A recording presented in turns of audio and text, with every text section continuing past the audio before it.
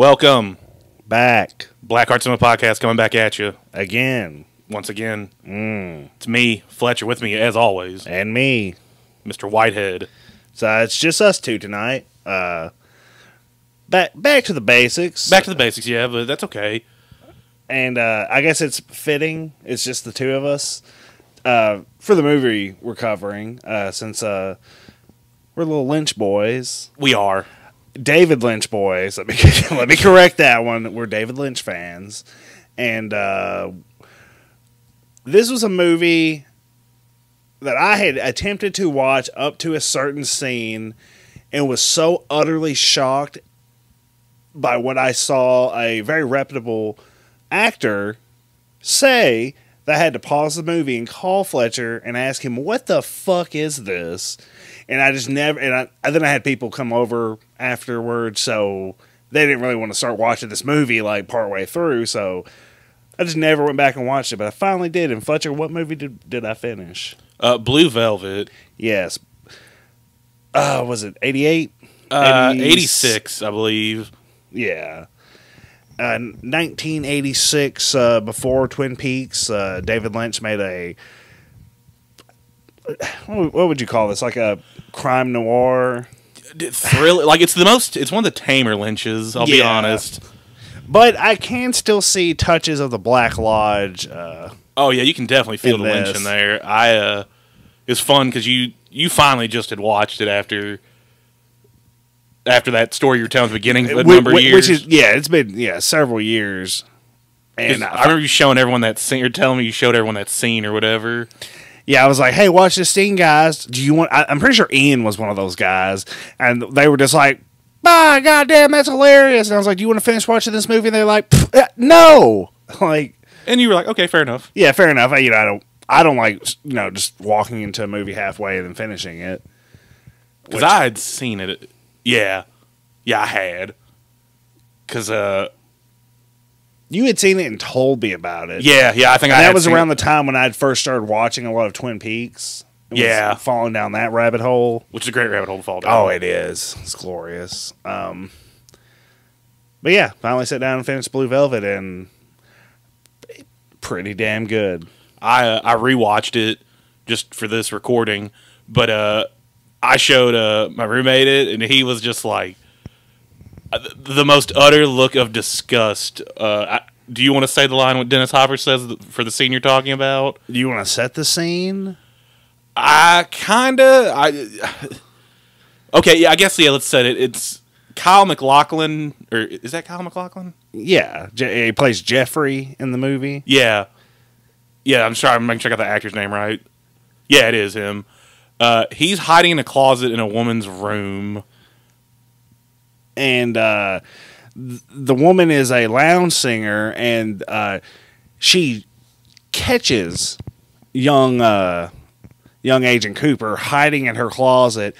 Uh, at knife point, like Makes him get naked. makes him get naked, and she fillets him or starts to, and then uh, she's like, "Oh shit!" She hears her door opening. She pushes him back in the closet, and then Dennis Hopper shows up in the role of Frank, and is just the biggest slime ball, just like slapping her around. Uh, Hit nitrous oxide, I guess that's what that was. yeah, yeah. They bust the nitrous oxide out and starts getting high, and he's like, "All right, put you know." She's just in like a nightgown. He's like, "All right, sit down there, spread your legs.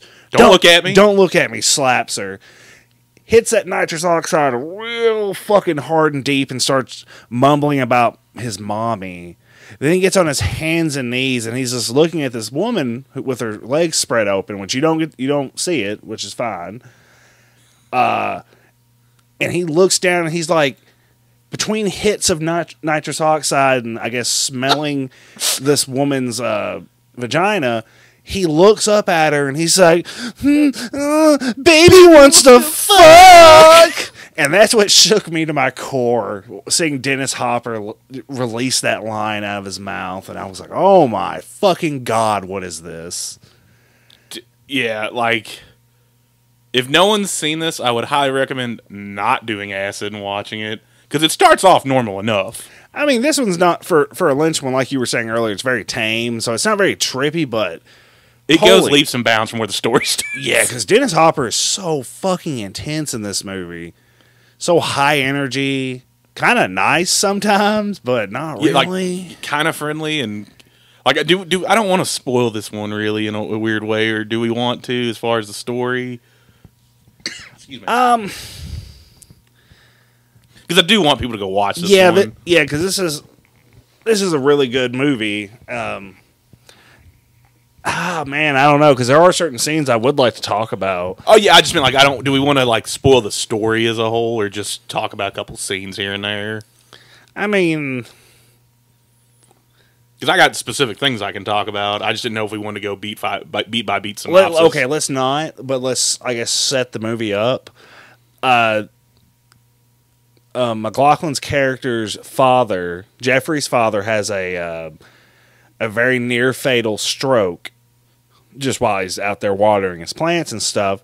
So Jeffrey comes home from college and is kind of like you know watching over his dad, you know, taking care of the hardware store yeah, taking care of his family business and stuff, you know, supporting his family through this through a hard time. pretty wholesome beginning for a Lynch Yeah, and he uh, he's walking.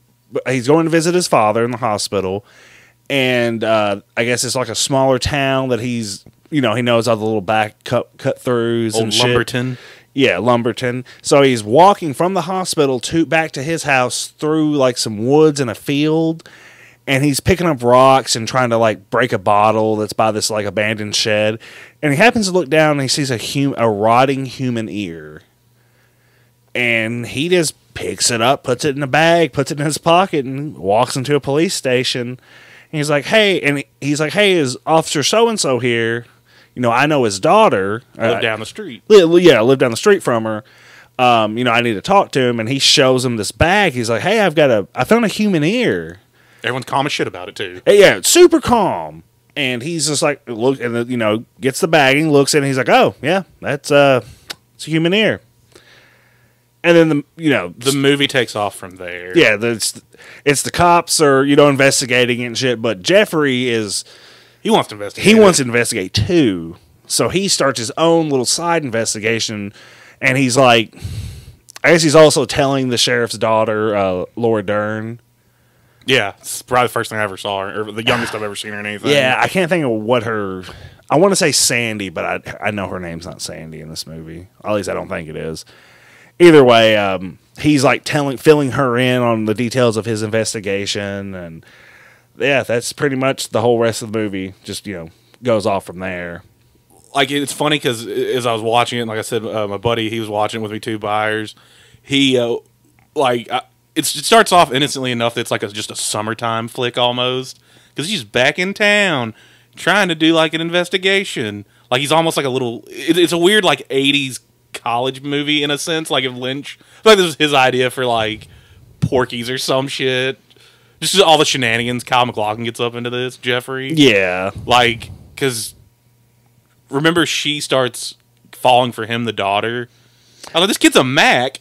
Oh yeah, he's he- got the lounge singer he's got and he wasn't even interested in the daughter the detective's daughter which i always thought was kind of great. She got upset later on. Yeah, but yeah, he ends up like hooking up with her. Then he's also hooking up with the lounge singer, and uh, th- that little subplot culminates into a very uncomfortable scene um, with everyone involved. oh yeah the singing scene where he takes when dennis hopper takes him Oh no, I was talking about the scene where she just shows up naked oh god at his yeah, house like- and is just like beaten up and, and again that uh, the detective's wife kind of pretty chill about that yeah, yeah. Um,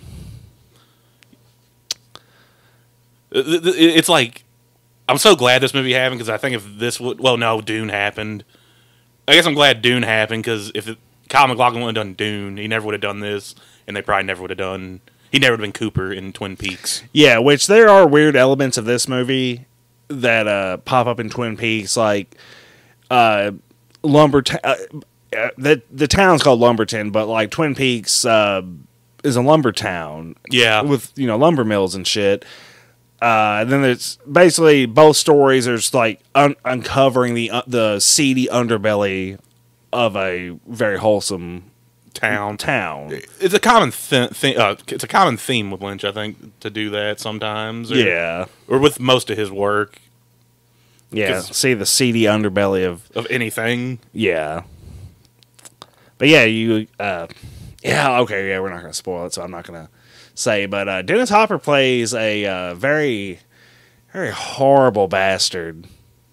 which he's great at. He's great, yeah. Always, he he's so like I'd like to see the, his his Frank character in another movie, or watch another movie where Dennis Hopper is at the same intensity level that that he stays at the whole fucking movie. And like, cause he he's he's all over the place emotionally. He's like like at one point he goes to his buddy's house and watches him like sing a lounge song, uh, and he starts crying. And he's just like, you know what, fucking, just starts screaming and yelling and punching people. D- Like, yeah, like going like- off on everyone there, yelling at the ladies in the room too. Yeah, he's he's just all over the place, just emotionally. But a lot of the a lot of that emotion is really just anger, just Yeah. pure fucking anger. But watching it, it made me think, huh? I know this is set be- before Twin Peaks, which it's close enough time frame wise that I'm sure Lynch had been thinking about Twin Peaks. Maybe while making this, Yeah, I could totally see that. Imagine Frank's character is actually possessed by uh, Bob. Killer, yeah, uh, he's he could be potentially possessed by Killer Bob or another Black Lodge entity. Because there's plenty of garmonbozia of that that Frank's making, all the suffering, or all the human suffering and anguish and fear. yeah. That makes total sense because uh, you know, I was going back rewatching. I was like, if you think about it, this is like a great blueprint for a lot of the Lynch stuff. Because I was thinking about like Twin Peaks season three, like all the performances they'd have in that one. Yeah, and I was like, because he likes he loves lounge singers. It seems like or some sort of he likes lounges and per, music performances. But I'm glad that he put like that whole the whole Blue Velvet song in here at one point when she's at the or at least I remember it being the whole. yeah. The lounge singer sings Blue Velvet. I think she sings it like a couple times in the movie, and I guess that's uh, Dennis Hopper's character's like favorite move or favorite, you know, song. Yeah, and they, they they actually play it over too, don't they? In the soundtrack sometimes. Yeah. if I remember correctly. which I did go back and listen to uh, just the other day. I had a, I think I was at work by myself, and I was like, I'm just gonna play fucking uh, Angelo Badalinti. Um, I'm butchering his name. I'm sure the guy who does basically all of Lynch's music for his films and shows, who also has just like partnered up with Lynch and made a couple CDs. Which I listened to one of those, and it was pretty good. yeah, I wish uh, wish we could talk to David Lynch. Yeah, I, I I could almost see him being like, "Yeah, I'll come on the podcast, of course." Remember when he was doing that weird weather shit a while back? Oh, he's still doing that. Oh, okay. Is he still doing it? I Yeah, mean, he's, still, it yeah, he's still doing the daily weather and the da- uh, daily number. Uh, yeah, yeah. Please, uh, God, let him do a final f- season of Twin Peaks if Uh, it- if he if he can before If not- if not he's a- getting older. yeah. I mean, if not a final season, give us like a weird in between movie, kind of like Fire Walk with Me. I want to see what Bad Cooper's been doing. I want to see what Mr. C's been up to. yeah, Uh, since the eighties, or oh, I guess it's eighty nine yeah, or whatever. or ninety. I, I don't.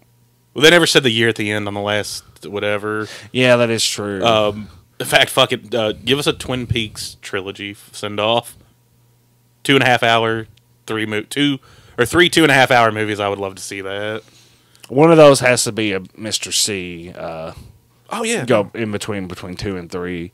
But um, but yeah, like the the more I watch Frank, just I, I was the first my first viewing of it up until the baby wants to fuck scene. Uh, I I just like God damn like because that's I think one of the first times you see Frank. It is the first time. you- That's where it all starts really taking off. Yeah, where you see just right off the bat, Frank is unhinged and dangerous. and loves driving fast. Oh, loves it. But like the more you watch the movie, he just keeps staying at that same crazy level. Unless he's listening to, you know, lounge music and shit, which he just loves. That was the his most polite part in the whole movie. Just him sitting there when Jeffrey caught him from across the room. He's just sitting there, just in awe, watching this lady sing a song. He's rubbing a little piece of blue velvet while she does it. Yeah, from a robe or whatever. Yeah, from the robe, he uh, he sliced a bit of the blue velvet off so he could, you know, put it in her mouth and his mouth, and uh, yeah, he beat that lady. it's it's been just long enough since I've seen some other of Lynch's work, like Mulholland Drive. Him and uh, Dennis Hopper never did anything together again, did they? Not that I know of. Or yeah, I, I- like I said, I the reason I brought Mulholland Drive, like at the end of this movie, my roommate he was like, I told him before we watched it because he agreed to watch it with me a couple days before, and I was like, hey, let's watch it on Monday night, bro. And he's like, all right, that sounds good. I told him I guarantee whatever kind of day you have at work on Monday, this movie will make you forget about whatever the fuck was going on in your day on Monday. And he had a bad day, and it fucking did. He was like, "Yeah, you, you weren't kidding. Uh, that movie made me fucking forget all about uh, the shit at work or whatever." And I was like, "Yeah, dog." Like, and I told him if you thought this was wild, check out Mulholland Drive. You'll feel fucking insane by the end of that movie. Yeah, that's a that's a that's a brain scratcher. Um, but yeah, like the more out there as I was watching it, you know, finishing it, which I guess counts as my second viewing of it, or not not really second. Once I finished it, all I could think of is that this motherfucker has a lodge spirit in him. Oh yeah, like Because like there's there's one scene in particular where he has abducted Jeffrey and the lounge singer because he catches them together, and he's like, "You're gonna come party with us, me and my friends." Which is funny. Jack Nance is in this as one of his buddies, yeah. Uh, and oddly enough, you know who else is in this fucking movie as one of Frank's buddies? uh, I point him out the other night to buyers. Was, the voice of Chucky. yeah, yeah. Uh, Bra- uh, Brad Dourif is. I was, like, I was like, "Hey, Chucky," I was shocked. in his silver suit. Yeah, I was like, holy, because I kept looking at that guy, and I'm thinking he's just this little side character who's only got like a handful of lines in the movie, other than in the background. Yeah. Um, but yeah, it was fucking Brad Dourif and and Jack Nance, because at one point Jack Nance shows up and he just like punches the fuck out of out of uh, Kyle MacLachlan's character, and it's just like, my name's Bill. It just looks at him and just like just won't stop. And it's just very weird. But I was Yeah. glad I was you know, I haven't seen Jack Nance in a whole lot of things. Yeah, Frank had it was weird himself. His fucking crew with him, equally just as fucking weird. Wouldn't have mind knowing more about them either. Honestly, Yeah. But like at one point, like like I said, he's abducted them and he's got them in the car with him. And they're all piled in this big ass car and he's driving fast as fuck. He's hitting the nitrous oxide. They're drinking and shit, having a good old time. Um, then they're like, hey, we're going to go to uh, Ben's house. And they're like, yeah, let's go visit Ben. And I forget the actor who plays Ben. I've seen him in a million things. I can yeah, yeah, he's uh, yeah, he's been in so many things.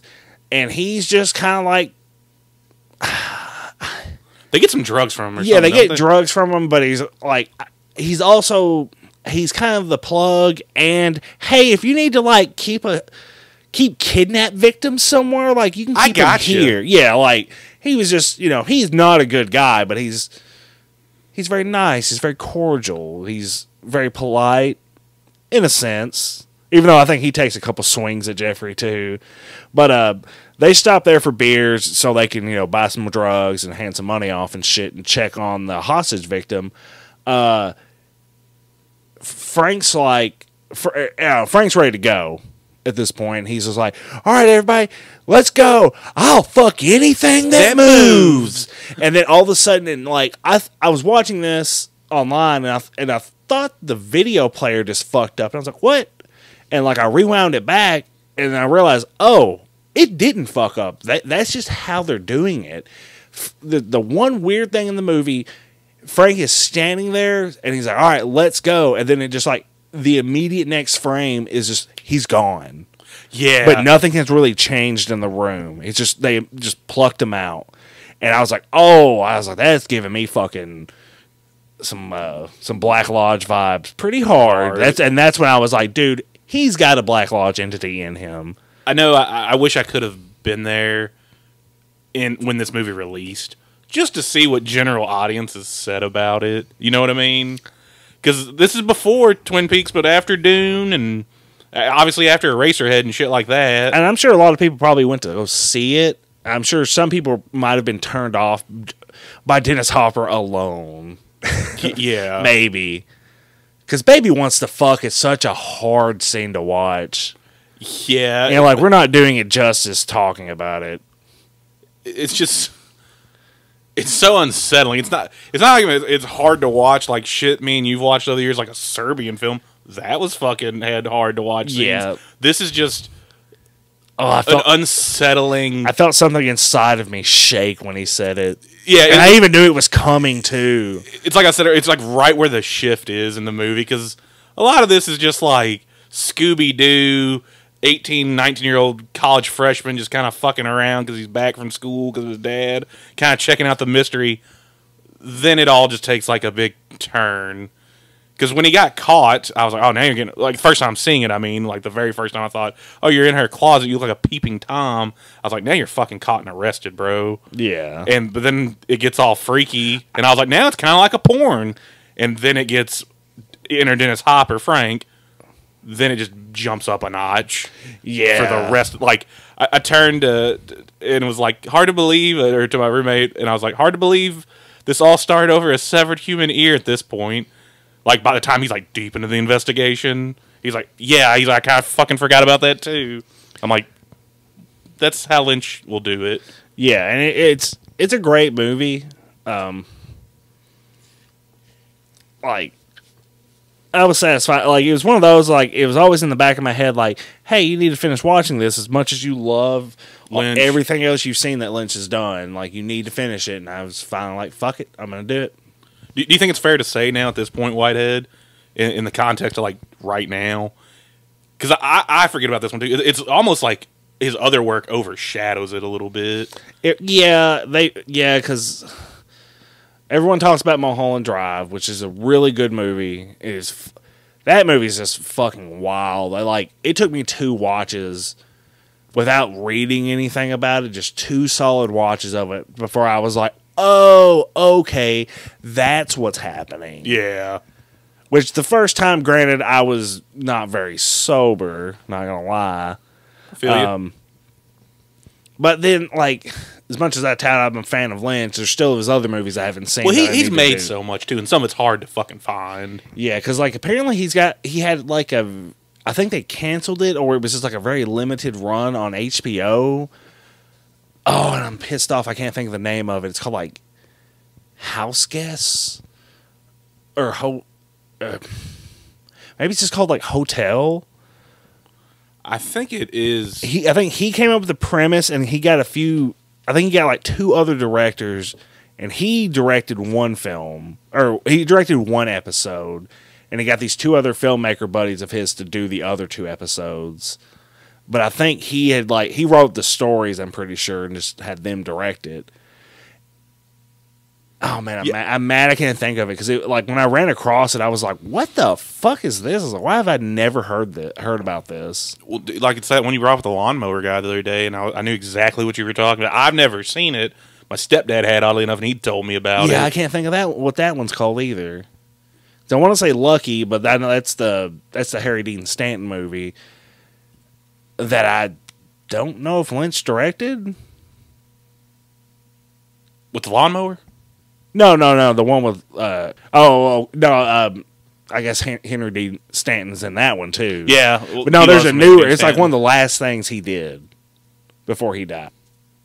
Sorry, I'm trying. I'm just going to IMDb of David Lynch. I'm trying to find the title for the one. I think I want to say it's something in or something hotel, like you're saying. Was it like around 06, the one you're trying to think of, like early 2000s? Oh no, the thing I'm thinking of, I think it was in the '90s. Let me, let me. Sorry, let me pull up old David over here real quick on the IMDb. Let me go to all his director credits. Or I'm trying to go to his director credits. My IMDb's being slow as shit. That. He's only got 98 directing credits, so Only '98. Yeah. y'all. oh, he's he's doing shit right now. Apparently, uh, he, oh, the Weather Report, Yeah. 152 episodes. Yep. Uh, sorry, I'm trying to find that hotel one He does so many shorts too, which I've always enjoyed. That he keeps doing shorts. And I've sat down and watched a bunch of those shorts because he's got, I think, the majority. He's got a lot of them on uh, his YouTube channel.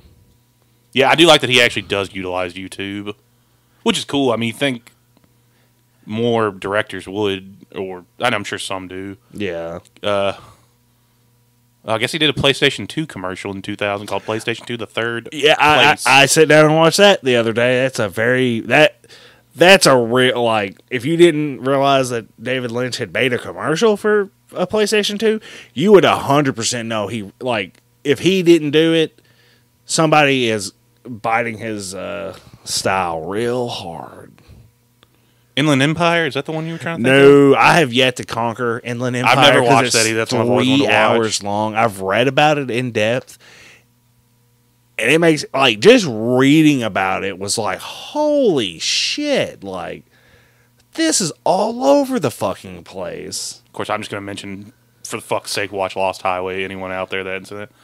Uh, I, I'm so sorry, but I just can't find this hotel one you're talking about. It might about. not be named hotel. I'm going. It's going up by order of year. That's like yeah. Lean over and look real quick. Hotel room. Oh, sorry, Hotel Room two TV 1993. yeah, He did two episodes of it. I think there was only three episodes of it. Yeah, I'm saying he just directed two though. Three part mini series set during three different eras in a single room of an odd hotel where employees never age. Every story has a slight twist to it, but the stories are mostly dialogue heavy psychological relationship dramas. Uh, he's only got two episode credits, so I guess someone did the third one. Oddly enough, there was a show on HBO a couple years back that just focused on one hotel room and just the various guests that stayed through it. Like someone more funny, like whatever happened to these actors in it. I think uh, That's that's how like just what little I read about this. That's how this one is because some of the episodes are funny, some of them are ser- like one of them serious, and I don't remember what the third one is. Yeah, I'm trying to see who's all in this real quick. I think Jack Nance is in it. Yeah, I, So I, think, I think that's how I found it. I was reading up on him and was like, "Huh, what's this?" Harry Dean Stanton's in it as Mo. If you can, so uh, he loves using the same people because Jack Nance is Eraserhead. Yeah, I, yeah, I found that out too, and I was shocked. I did not realize He looks so different without a mustache. he really just- does. He's not, he's not even that much. I mean, you know, he's a little older, but he got a little thinner. He's just a little thinner in Eraserhead, but just no stash, and it's like Yeah, because like his character in um, Blue Velvet looks just pretty. I mean, hell, it was just the it's like Jack Nance and everything seen Jack Nance in, kind of. Yeah, I mean, it looked like um, I ah, fuck, I can't think of what his name was in Twin Peaks. Um, fuck, what is it? that's okay, man. Uh, Yeah, it don't. It don't- matter. it don't matter. It don't. It don't matter. all, all that. Oh my god! Uh, all that matters is Jack Nance looks like every one of your dad's friends from the early '90s. yeah, yeah. Uh, Whitehead, we're about 28 minutes in. Do we want to we talk any more about Blue Velvet? We want to wrap it up. What you Uh, do, Bubba? let's wrap it up because I feel like we're just, we've just went. We, on- we've just been we've just been polishing Lynch's knob. yeah hard as fuck, and this is no longer a Blue Velvet episode. So let's let's end it. Uh, how many uh, Chili dogs. how many chili dogs you want to give this one? Uh, shit, I'm gonna have to give it uh, eight and a half chili dogs, only because it is one of the tamer Lynch ones. Because if you haven't seen fucking True or True Detective, Twin Peaks or anything like that, you wouldn't even think it might be by the same guy. Honestly, just from the context of you're watching this as like a viewer that's Yeah. never watched any Lynch stuff. But this is a great movie, and on the cover art, you would think this is gonna be more of a romance thing. I mean, and it kind of is. It is, yeah. at times, but this this is just a really good. Uh, I don't know, crime thriller. Yeah, and an engaging one too. Yeah, because like the whole time you're just like, whoa, what the what the fuck's about to happen next? Yeah. What's Frank about to do? Is Dennis Hopper gonna top himself? Yeah, How many chili dogs are you giving it? Uh, I'll give it. Yeah, fuck it. You said eight. I said eight and a half. I'll give it eight and a half as well. I'm Just because it's- unimaginative. Uh, No, no, absolutely nothing wrong. Just because there's, if we ever talk about other Lynch stuff, there is other Lynch stuff that I like more than this. But I do like this a lot. yeah, yeah. We'll have to do make a Lynch scale between all of his movies when we cover them. And uh, do you know what? Should we tell everyone why we're doing the chili dogs? I've mentioned it before. Uh, no, Don't tell them about the chili dogs. no, in But the yeah, spirit of David Lynch. you guys figure out why we No. rated chili dogs. Because chili dogs are awesome, but you figure out why we specifically said how many chili dogs are given this movie. Yeah, but uh, but all right, we're out of here. We'll catch y'all later. Be good, everybody. Go watch Blue Velvet. Blue Velvet.